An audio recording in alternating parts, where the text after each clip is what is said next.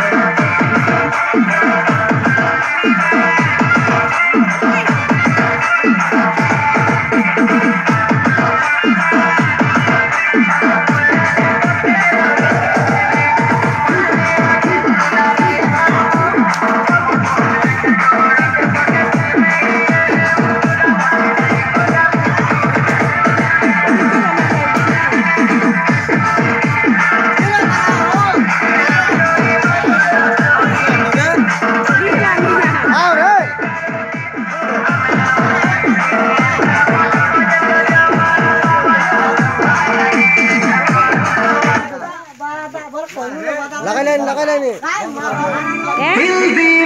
eh